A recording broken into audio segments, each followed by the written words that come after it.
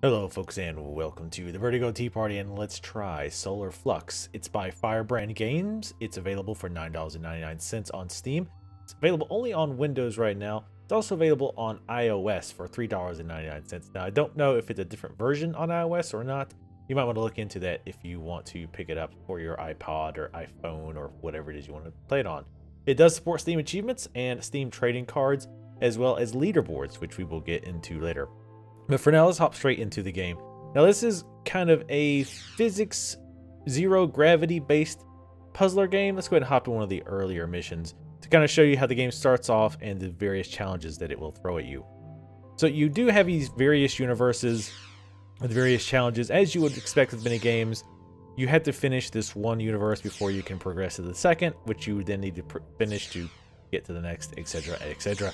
And assumingly, the universes present new challenges and make the game more difficult overall. There's also a three star rating system. And it's interesting because each mission is scored differently. So, for example, these missions are scored based on how much fuel you you use or don't use. These are based on how much damage your ship has taken or not taken. And this is based your score is based on how long it takes you to complete the mission. So, very interesting mix up of scores there. I personally prefer the gas ones, probably because they're the easiest for me to do. I'm not very good at this game, is a fair warning. So let's go ahead and start off. Now, the premise is that the suns in these various universes are dying, and your job is to collect these, these plasma balls, which just happen to be floating about space, shoot them at the suns, and stabilize them, saving the universe. Now, this is our launch ship, and we can aim it like this. We basically, to aim, you go behind the ship and left click and hold. You can change that in the options though. So if you want to actually point to where you want to go, you can point, you can change that in the options so that I would point up here if I wanted to shoot the ship out here or to fly. However, it does seem like that makes it a little bit too, well, makes it a little easier, I think. Anyway, so let's go ahead and shoot so we can grab these plasma orbs. Now, as you'll see, we'll actually get grabbed by these planets' orbitational pulls, or gravitational pulls, rather. And we've gotten three of these solar flares. We're at 30%. In other words, we can stabilize 30% of a sun if we shoot these now. This sun is at 70%, so it needs a 30% to stabilize it. So, and another thing is, once you shoot the flares at the sun, it sends out a burst, which will push you. So because we want to use the least amount of fuel as possible, we're actually going to time our orbit so that we shoot at the sun and the burst shoots us into another orbit. We'll see if this actually works. I probably will get it on the first try, but see, you see it pushes us out. And nope, we ended up docking with our own space station again. So we're going to actually wait until we get back around this side and pop into here. Try to use this list as low of gas as possible. And as you can see up here at the top right, you can see our total ranking so far. Right now we're at 2 out of 3 because we used too much gas, because this is doable without using any gas by using the solar pulse to push you onto this orbit, grab them all, and shoot this into here.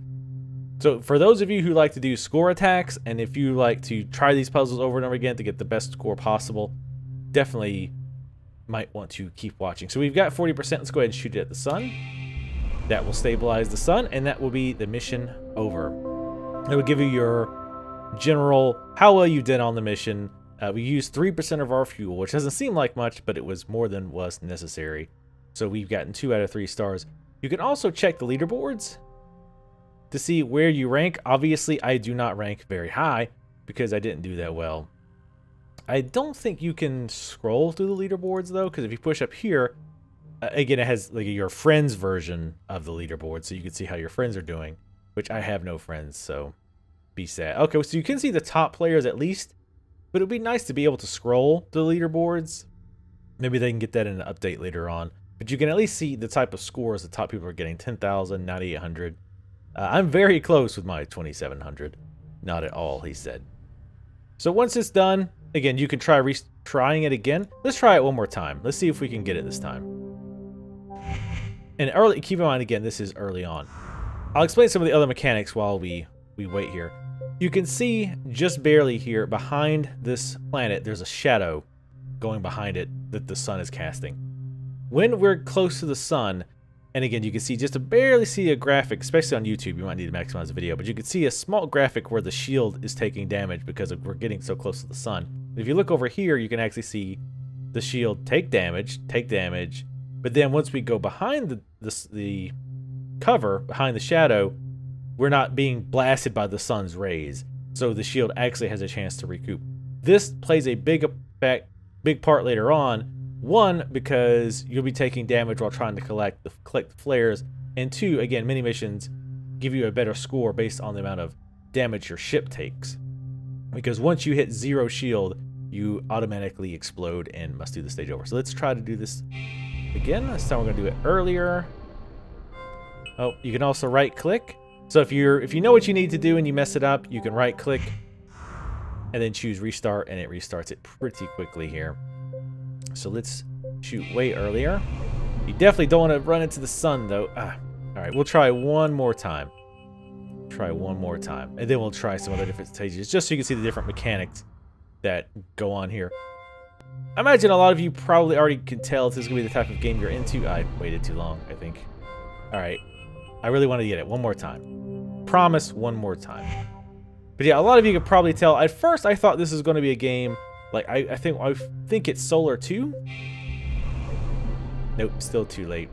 I think maybe I should wait. Uh, I think you're supposed to wait. Anyway, let's go ahead and exit out of here. But at first I thought this was going to be like Solar 2 or Osmosis, where you start off as something small and you grab smaller things and you get larger and then you get your own orbitational pull, but you have to use the orbitational pull of other planets to get other things and then eventually you're swallowing planets, which allows you to swallow suns. At first I thought this with this game was like, this game is absolutely in no way, shape, or form like that at all. Let's try, let's see, Voyager, this is a different set of missions. Let's try one of these shield ones, which I am awful at.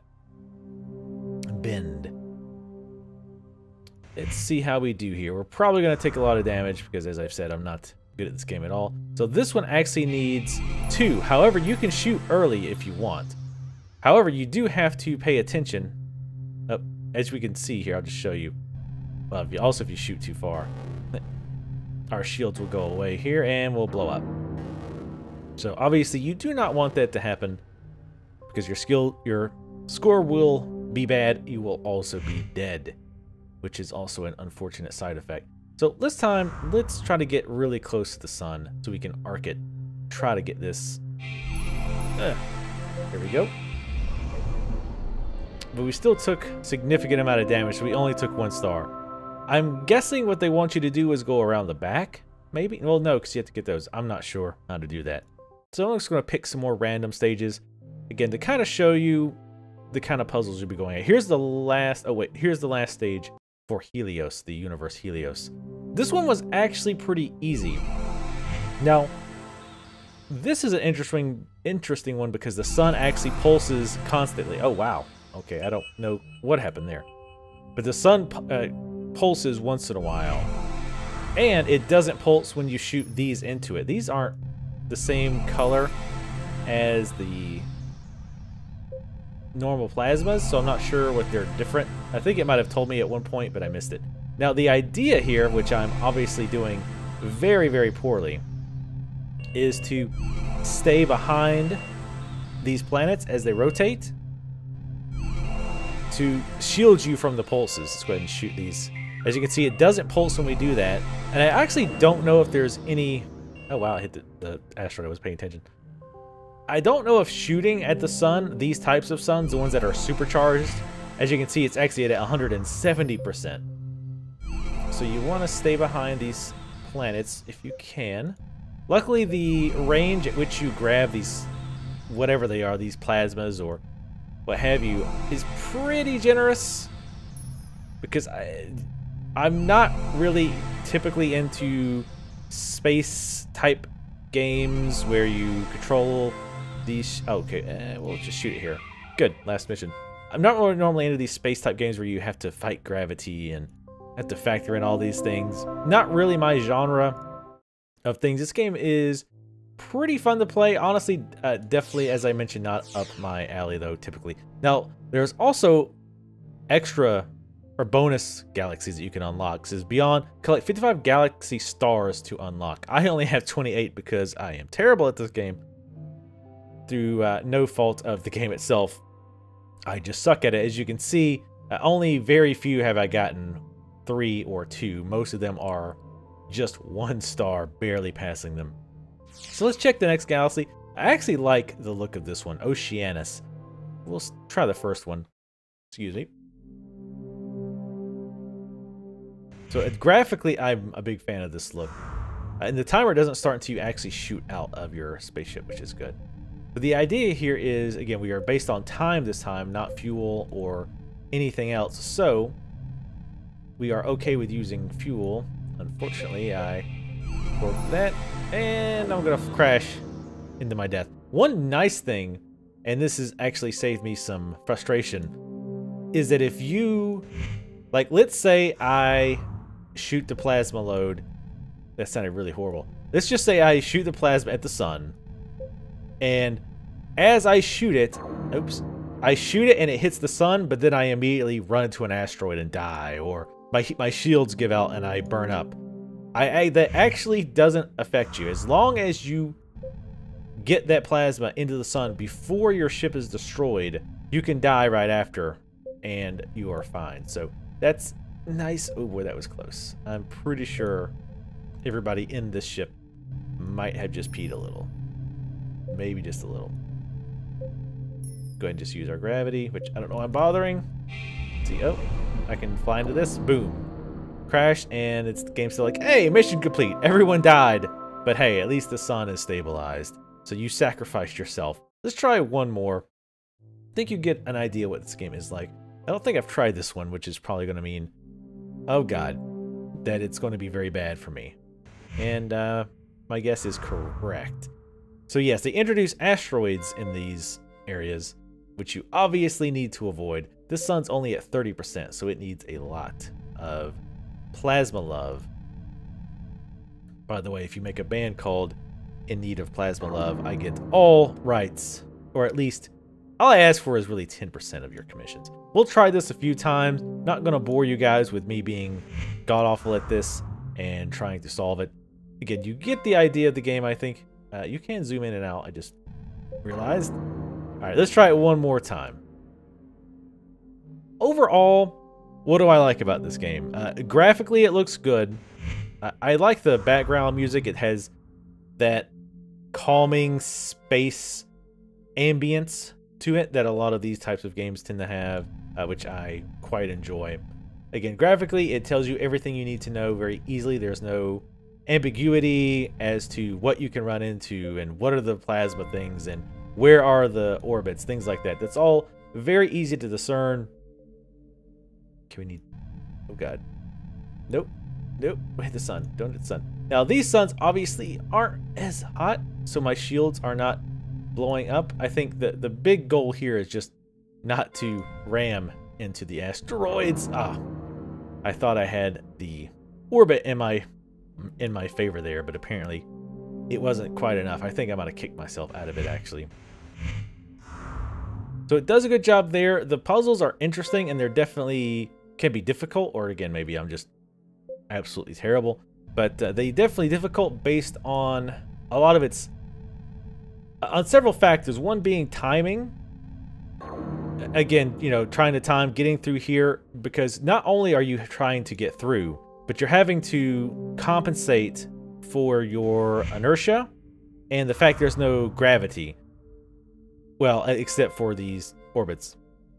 So you're having to compensate for that. So it's not just, a, oh, I'll stand there like you would in a typical like platformer, say, and I'll just wait for the the giant to go by, then I'll you know run forward. You actually have to think ahead of time and think, okay, well, it's going to take a second for my boosters to be able to push me through the hole in the asteroid. So I might need to work a little, uh, you know, plan ahead and start shooting before normally I would be need to need to. This one's rough. Come on, get in that orbit. Oh, hmm, there's another ship, which I don't even know how you would get in there. I will not be trying it. And of course, I ran right into it. There's other things, again, not as big of a deal in this mission, but in others, where you're exposed to the sun a lot. So you have to worry about your shields or worry about your fuel because the pulses push like the suns that auto pulse can be a big drain on your fuel. So you have to again try to avoid the pulses or you know use them to your advantage. So if you've got some some of these uh, plasma things closer up, you might want to get those first and then use the the auto pulse to push you back out to grab the others. So there's a lot of uh, strategy and planning in that, and I think that's cool. Now, what do I not like? Personally, my grievances are frankly personal. I, I don't, or just, well, just for me. Uh, see, that, that little boost shot me out. And that's, again, that's kind of one of my grievances. I don't like this type of game where you have to do your boosters and factor in the gravity and all of that. That's personally not my thing. Like, I end up just getting really frustrated because I tend to hate doing the same thing over and over. And as with this map, as you can see, am I'm having to do the same thing over and over just to get to the part where I keep dying. So then I get frustrated and I get in a hurry and then I end up, you know, slamming into the planet or into the sun or screwing up and dying early. So I just end up getting more and more frustrated. So this is definitely the type of game more for those of you who have patience and or those of you who like kind of the the space physics, I guess we should I'll I'll call it. Hey, we activated through. Oh god, no, no, no. Oh, okay. I was like, oh god, that's bad. So you can also hover around your spaceships or your your docking stations. They give you fuel. However, don't think you can cheese the score that way. The score is if a score is based off of how much uh, how much gas you've used, just filling up doesn't count. It actually looks at how much you used, not how much you have left, if that makes sense. You also see it took me longer to get into that orbit because I'm further out. It does take longer for the orbit to grab you and mess up your inertia. Okay, oops, our, our shields are hurting. Unfortunately, I don't think I'm going to get a shot off. Come on. Ah. Another second. Maybe two seconds, and I think I could have got it. But anyway, yeah, again, my my qualms are I'm not into this type of game myself. But again, I think those of you who would be interested in this probably can tell pretty quickly that if you're going to be into it or not. Unfortunately, there's not a demo that I could find. However, again, it is only $9.99 and it is available for iOS, but it seems like it'd be a pretty good game for being on the go. So yeah, definitely check out Solar Flux. I will put a link to this game in the description of the video below. So definitely check it out. Thank you guys for watching. Like my videos if you like them. Make sure to subscribe if you'd like to see more Let's Try videos of new games coming out. And I will see you next time.